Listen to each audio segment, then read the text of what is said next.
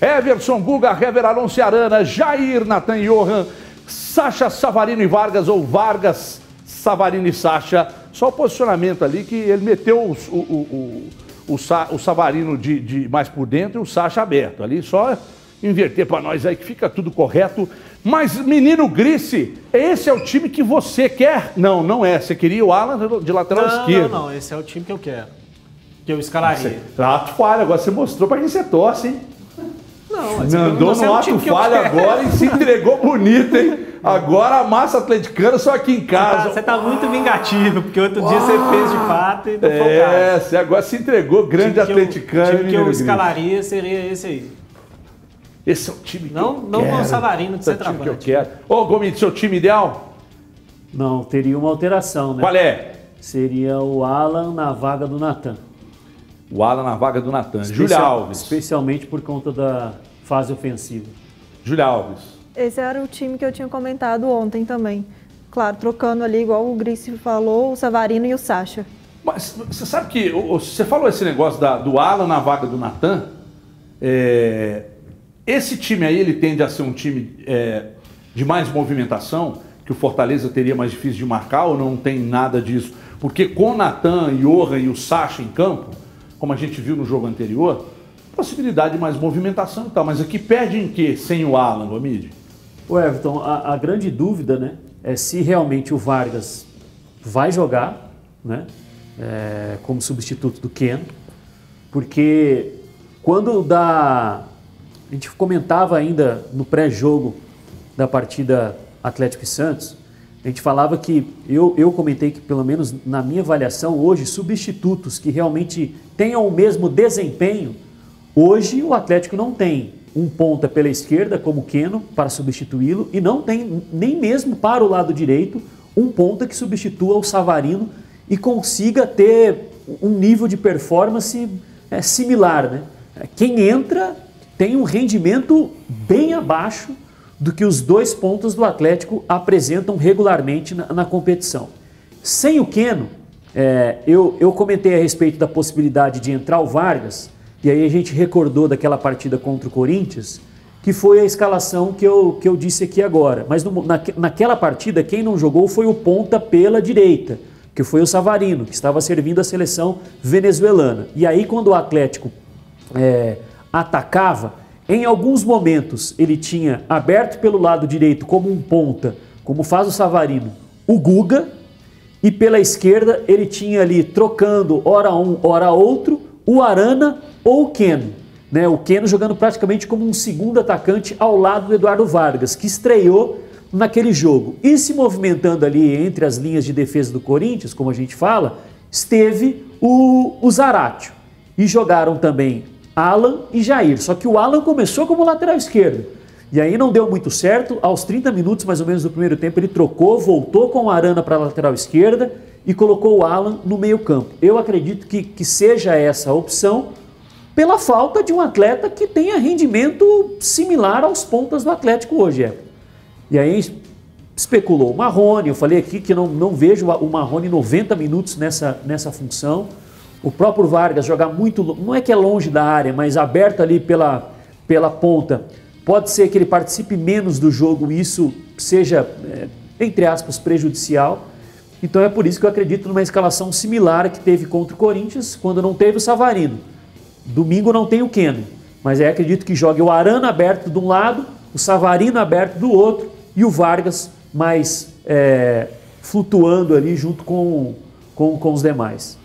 Ô, ô Grice, você é, falou que esse também é o seu time ideal. Inde, independentemente disso, que, que muda para você nesse confronto contra o Fortaleza? O Fortaleza lá no Z4, ou seja, bem diferente daquele Fortaleza do primeiro turno que ainda contava com Rogério Ceni, jogava um futebol, era muito competitivo e tal. O que, que muda para esse confronto de domingo com o fato do Bahia ter vencido ontem e ter empurrado Fortaleza para o Z4? uh, uh, analisando o aspecto anímico, que tem a ver com, com, com, com o espírito, com o espírito, com aura, e não com o ânimo. Ah, estou animado ou não. Não é isso. Por, por, gentileza, você que é o maior sommelier de comportamento humano. O, o Fortaleza, inclusive, Everton, que não só está na zona do rebaixamento, mas como hoje, em termos de desempenho, é um dos piores times do campeonato. Acho que só joga melhor do que o Botafogo. É, tem alguns outros times que também não vêm jogando tão bem, né? O, o Goiás, o Curitiba, é, o próprio Bahia, apesar da vitória ontem contra o Corinthians, mas o, o Fortaleza tem jogado muito mal desde a saída do Rogério é, dá para contar nos dedos quantos jogos aí bons, aceitáveis o Fortaleza fez é, na competição. E é claro que isso tem um impacto, né? A pressão da, da zona do rebaixamento, o Enderson, que faz uma temporada muito ruim, né? Até li uma matéria ontem a respeito do Enderson, está trabalhando muito essa questão anímica que você citou há pouco, de tentar recuperar ali emocionalmente o time do, do Fortaleza para essa reta final de campeonato, sabendo que vai precisar é, somar pontos. Mas enfim, o Atlético é bem favorito para vencer o jogo, vai enfrentar um Fortaleza bem diferente daquele é, que causou muitas dificuldades no primeiro turno, se defendendo muito bem, saindo com inteligência para jogar. É, e com relação à, movimentação, né, Everton, a gente ainda não sabe se de fato será o Vargas a, a, a escolha do, do Sampaoli para começar na vaga do Queno, mas eu acho que o Vargas é um jogador que pode se aproveitar muito das movimentações do Eduardo Sacha.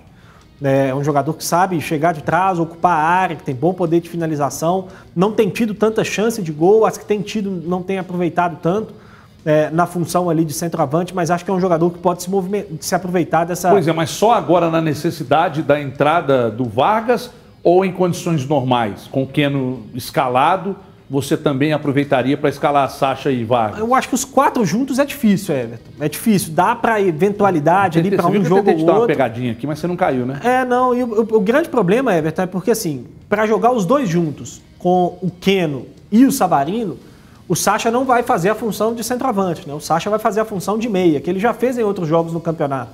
Mas aí não tem essa questão da movimentação dele para atrair os zagueiros, para deixar a área é, um pouco mais livre para alguém chegar de trás, né? Então, é, é, os dois jogando juntos com o Kenny e o Savarino, eu acho que o, o, o, o efeito do, da inteligência de, de posicionamento do, do, Eduardo Sacha ele se perde um pouco. Agora, os dois jogando juntos, sem o Keno ou sem o Savarino, para o Vargas fazer o papel desse jogador que, que, que atua pelo lado, mas que, que, pisa na área, que aproveita esse espaço deixado, eu acho que pode ser uma combinação interessante aí para o São Paulo nessa reta final. Tem uma coisa que, que para mim é fundamental, é, embora não é, especialista na área, que é a questão do comportamento, eu brinquei com você, mas a questão do comportamento daquele jogador que foi titular, que é sacado, vai para o banco, e é um papel do treinador, e principalmente de um treinador gabaritado como é o Sampaoli, e é importante destacar sempre aqui que eu sou contra essa onda de saída do Sampaoli, contra, tem que falar dez vezes, contra, sou contra, porque senão, ah, qualquer crítica, estão fazendo onda. Não, sou contra. É o Sampaoli o técnico e tem que permanecer com o Sampaoli. É, que é a questão de, da cabeça do jogador. O jogador sai do time titular, vai para o banco e daqui a pouco ele não é nem relacionado às vezes. Como é que fica a cabeça desse cara? Por que, que eu estou tocando nesse assunto? É papel do treinador trabalhar tudo isso. Porque eu não acredito, e aqui acabei recebendo uma mensagem do Lucas Ragazzi, é meu colega de 98, que é um fenômeno, um jornalista monstro. E aí ele me falou aqui sobre a questão do Marquinhos. Júlia, quero ouvir de vocês sobre a questão do Marquinhos. Ah, o Marquinhos está trabalhando a saída dele, não deve ficar no Atlético. Mas o Marquinhos, em, em um momento do, do Campeonato Brasileiro, ele foi um jogador importante. O problema de não estar sendo nem relacionado é por causa de uma queda técnica ou de um cara que perdeu a motivação completamente, Júlia, porque nem usado mais ele tem sido. Oi, Everton, boa tarde. Boa que tarde, eu não tinha te cumprimentado antes, tudo jóia? Boa tarde, Júlia, bem-vinda. Obrigada. boa tarde a todo mundo que está assistindo a gente também. Ela já falou, gente, é porque ela só esqueceu da boa tarde. É, exatamente. É, bom, eu acho que a questão do, do, Marquinhos é complicado, né? É, de não estar sendo relacionado, não estar sendo aproveitado, mas entra numa questão parecida um pouco com o Tardelli, no sentido assim, que a gente vem falando sobre como que está treinando também. Porque é complicado a gente falar sem estar lá durante o treinamento e ver é, como que o jogador está rendendo ou não, né? É, se ele está com a cabeça boa, se ele está jogando bem. É, eu acho que é uma situação difícil. Todo jogador isso quer estar tá jogando, quer estar tá no time titular, quer entrar, quer fazer a diferença. Mas se ele não está, é complicado para a gente que não consegue analisar as últimas entradas dele, como que ele está para falar se ele deveria ou não. É, na, na, questão assim, do banco, quando a gente está jogando em casa, tem opção de levar mais jogadores. Então pode ser uma opção, pode fazer diferença. Mas se ele está vendo essa dificuldade de entrar com o São Paulo ou não, eu acho que é mais uma questão técnica. Eu vou explicar por que, eu falei tudo isso aqui.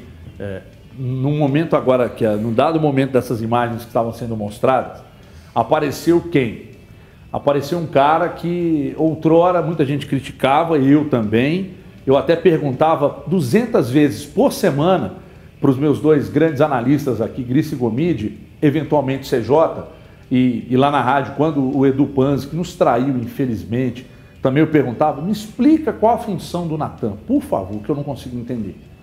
E aí, daqui a pouco, esse cara entrou no time, encaixou, depois teve a contusão, saiu e não voltou como era. Mas não dá para pegar e dizer que o Marquinhos não vai render mais, que o Marrone é foguete molhado, que o Zarate, eu recebi no Twitter uma mensagem, Zarate, isso é uma negação, é mentira, isso é uma mentira do futebol, é, do, do, da, entre as contratações do Atlético, os caras já estão aposentando o Zarate, que o Alan Franco não vai render mais nada e tal, é, é muito arriscado dizer isso. Por isso eu perguntei do Marquinhos, porque eu estou vendo muita gente já meio que aposentar o cara, não, no Atlético ele não tem mais condição, mas daqui a pouco entra começa, não sei, não dá, com o Natan foi assim, mesmo com tantos jogadores no setor, o Natan chegou a entrar e bem nesse time e ficou um longo tempo sem sair.